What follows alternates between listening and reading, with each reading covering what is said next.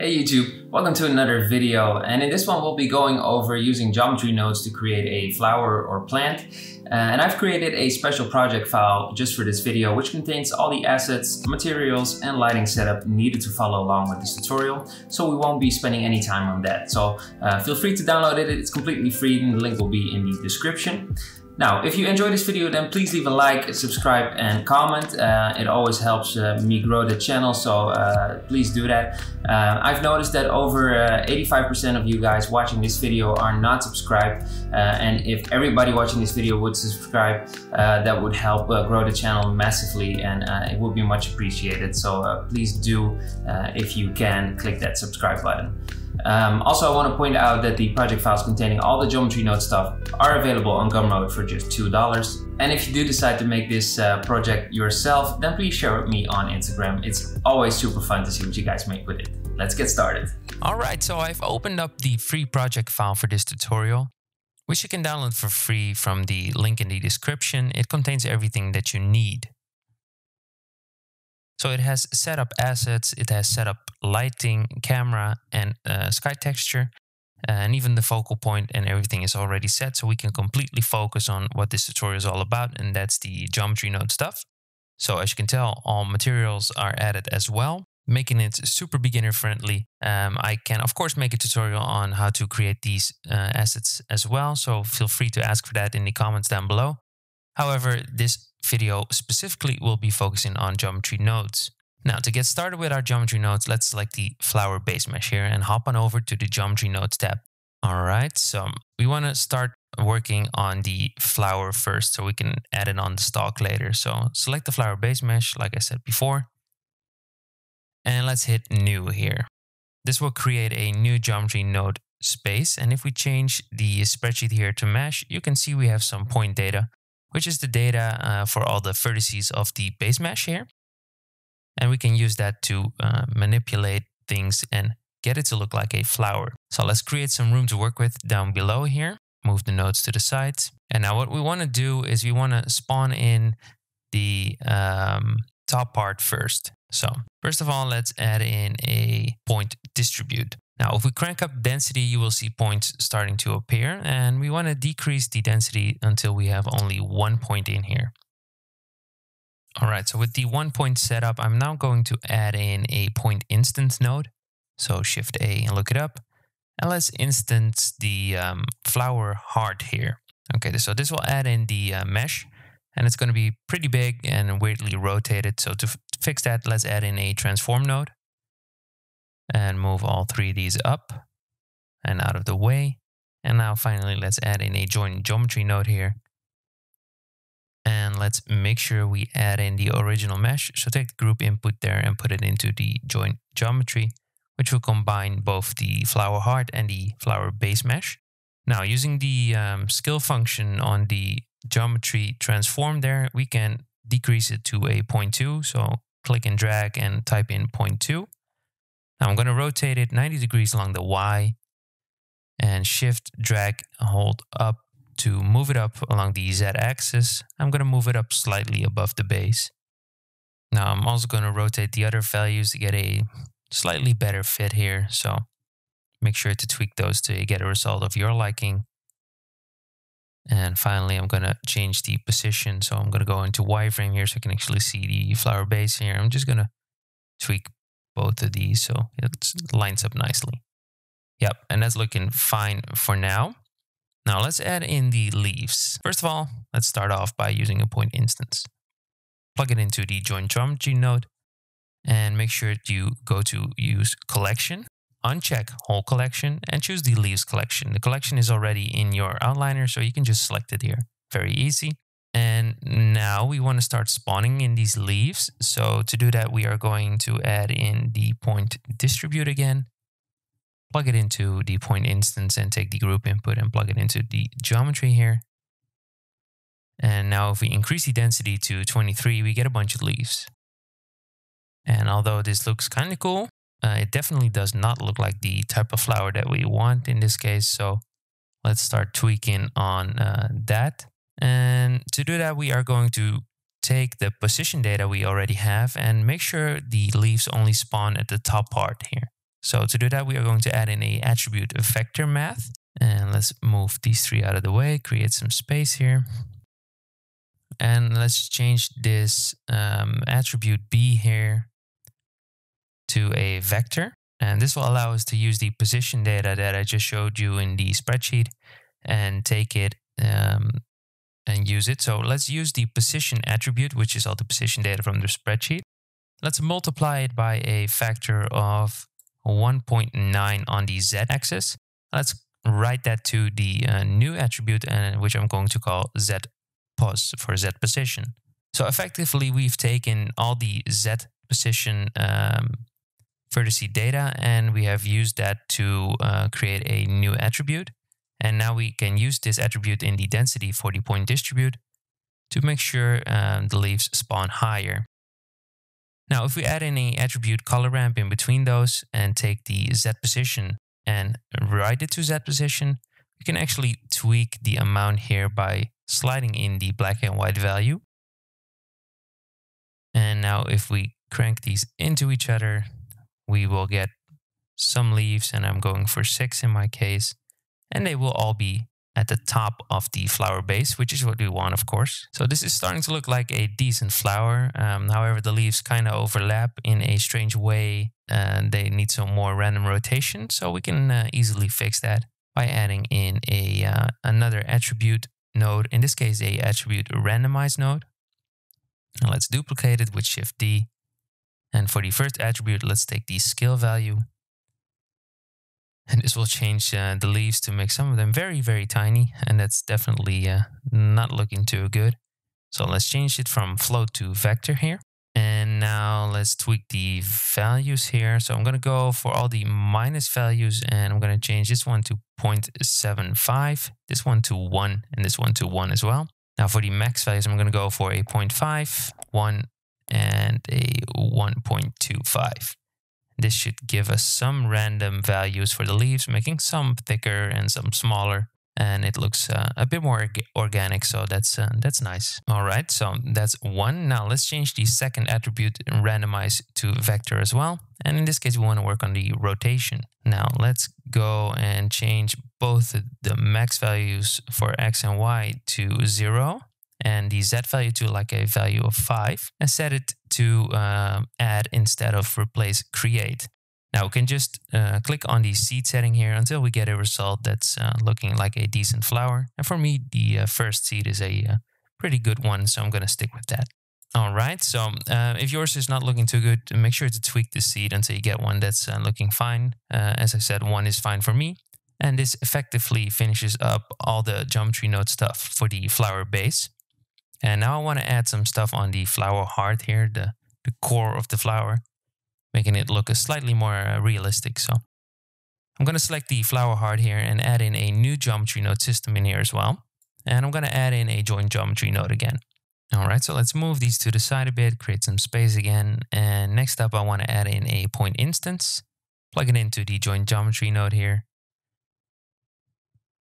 And a point distribute and plug that in there and in there. So now we have this simple base setup again. Now let's increase the density to 15 and create some space here again. And in between the point distribute and point instance, I'm going to add in a attribute randomize again. And now I want to instance the um, hairs object for the point instance there which will add in a bunch of, uh, of the curves that I created for you. And now, of course, we want to change the scale here. So let's type in scale for the attribute. And let's make sure to set it to a 0.4 max value. And for the minimum value, I'm going to go for a 0.1. Yeah, that's looking fine. All right, so now we got some hairs on the flower heart here, um, which is where the bees go to, I think. I am not sure though, but uh, I do feel they go somewhere in there to get some pollen and stuff. And if we go into uh, material preview, you can see we got the nice purple leaves there, the green stalk, and the flower heart with the hairs on it. So that finishes up our entire flower model and all the geometry node we need to do for that. We can now start uh, working on the uh, actual plant.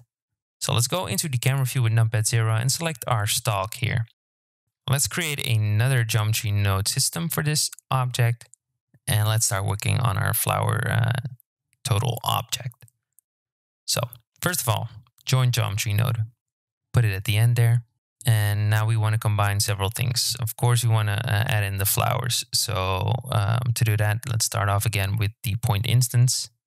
Plug that in there. And for the object, we are going to select the flower base, which now also contains all the data from the leaves and the heart.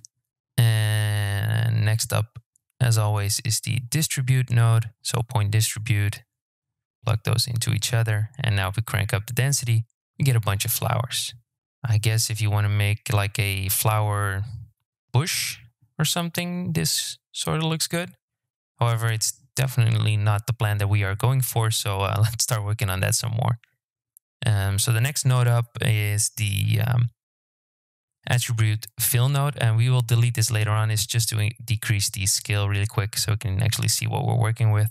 So type in the attribute scale there and go to a value of 0.2. So now we actually see what we are doing, which is uh, kind of handy.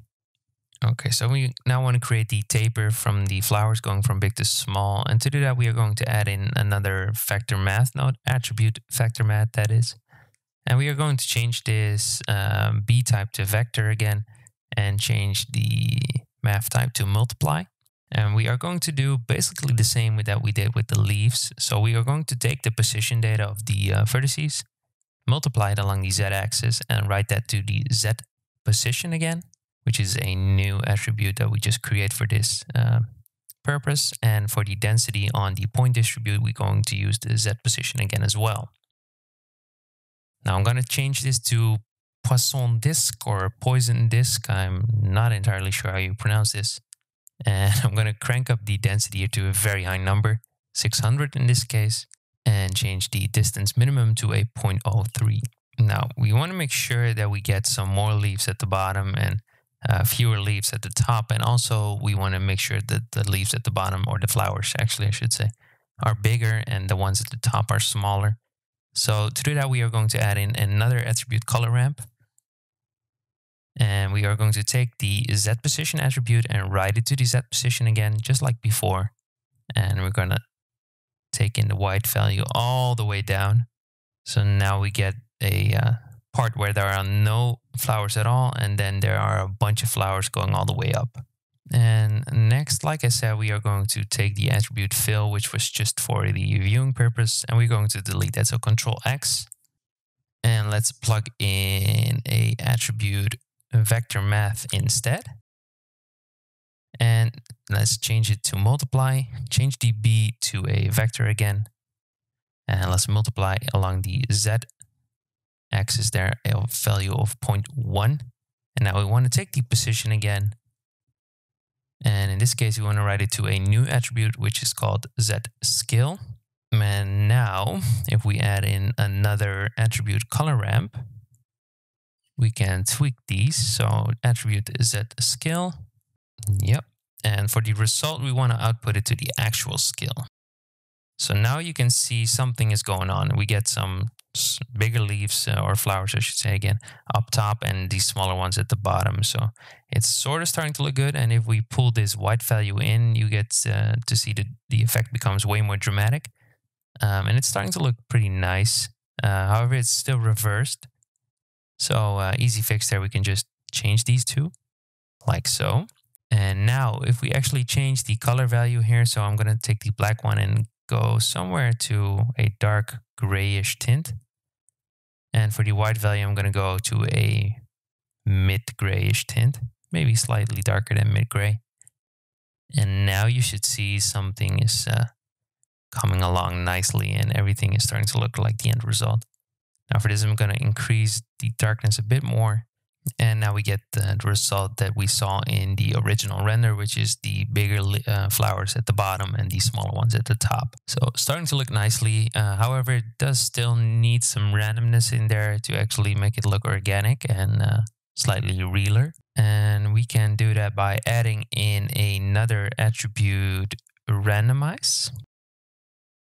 Plug it into uh, the color ramp and before the point instance, of course Let's change the flow type here to vector and let's set it to add as well. The attribute, of course, will be the rotation and you should see a difference immediately. And now for the values, I'm going to use a minus 0.5 on all the minimum values. And on the max values, I'm going to go for a 0.5, 0.5, and then a bigger number. And I believe I used something like a 14 in my final render, but you need a number at least bigger than 1 for it to actually work. So do make sure you go somewhere above 1 uh, until you get something that you like. All right, looking good. Now I'm to just pull this value in a bit more so I get the uh, scale effect a little more dramatic there. I think it looks better. And I think that's all we need to do when we actually have the, uh, the plant fully set up. And now if we want to just create another one, it's super easy. I'm just going to zoom out the camera real quick. So select it, hit G, Y, pull back a bit. And if we go into rendered view, we now get this really nice looking flower, which is super simple to set up. I think we can all agree on that. And it really showcases the strength of uh, geometry nodes. So I'm just going to select the stock here, duplicate it. It will automatically duplicate all the geometry node uh, stuff. So you get the complete flower, uh, just like the one we already created. I'm just to rotate it, scale it up, move it to the back a bit. So we get the, uh, the render that you uh, saw in the beginning pull it to the side. And now we get two of these very cool looking flowers. I already added some uh, depth of field in here. And that brings us to the end result. And like I said, it's uh, super simple, super easy, very beginner friendly, um, but it really highlights the effectiveness of uh, geometry nodes. So uh, that's it. And we can actually hit render. All right, so that's the end result for this video. I hope you guys enjoyed it. Um, we created this very cool looking flower. At least I think it's very cool looking. Um, it looks very nice and it really shows the strength of geometry nodes. So uh, I think it's a, a, very successful way of using this new feature in Blender. Um, I hope you learned something and if you did then please leave a like, subscribe and comment down below. Uh, it's always great to hear from you guys. If you decide to make this yourself then please share with me on Instagram and uh, I hope to see you in the next one.